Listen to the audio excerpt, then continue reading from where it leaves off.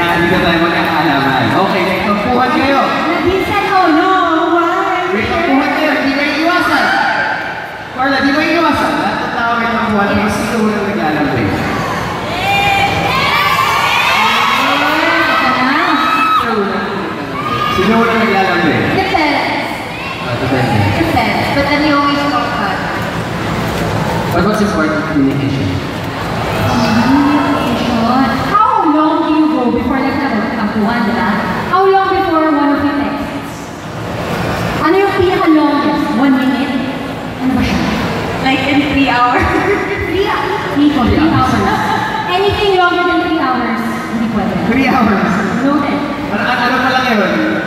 Kuha, to buwan pa lang sa EDSA, pati na sila agad. Ganun, katagal,